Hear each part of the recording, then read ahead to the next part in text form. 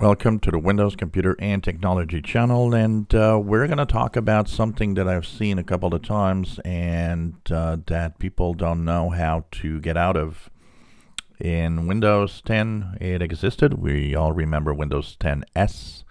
Well, Windows 11 also comes in Windows 11S, which is a kind of a blocked version if you want. It's a version that's good if you are, for example, having somebody use a computer uh, and um, you know kind of unsupervised and you don't know what they're going to do. S mode is cool because it prevents any installation of third-party apps. It only lets you install from the microsoft store. So it has its advantages on systems if you want to make sure that you know people don't install whatever they want. Now for most people windows 10s is a problem because you can't install say google chrome for example so how do you get out of S mode?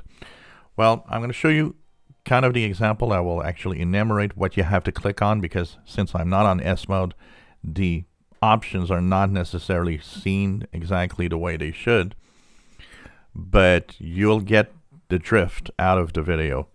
So what you do, if you're in S mode, you go into your settings app.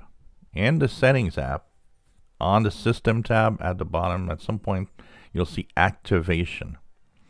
Once you're here, one of the things that you will see here is switch to Windows 11 depending on the version that you've got with that PC it could be 11 Pro or 11 Home so what you're going to do is in the switch to 11 Home or Pro depending what you see here which would be an option that would be here what you're going to do is you're going to go to the store. Select go to the store.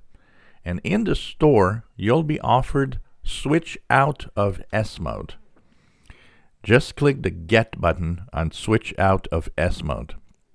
And that's going to bring you to a standard version of Windows 11.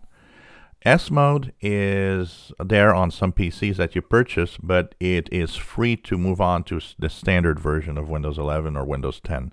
So remember that it's the way it's going to do. So once again, you go to uh, the settings app, you go click activation in the system tab. Here, you will have an option that's going to say switch to Windows 11 Home or Pro, depending on the version that you have.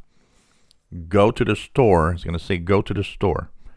Once you go to the store, you're going to click switch out of S mode.